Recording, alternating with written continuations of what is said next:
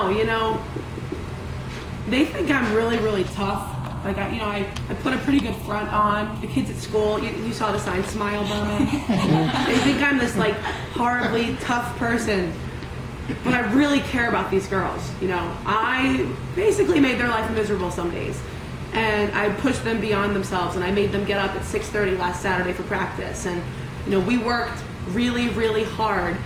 But I worked really, really hard.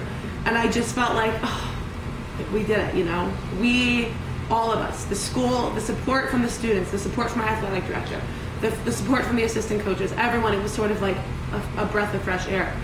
And I don't remember, I don't know, I guess when you're in high school, you just sort of think things come a little bit easier to you. And I don't remember working this hard in high school. But I do say, when I was a sophomore, we lost to Centennial in the state semifinals. And one of my friends from Australia called right before the match. And it was like, all right, you know, everyone wants us to beat Centennial. Everyone. In Australia. That's what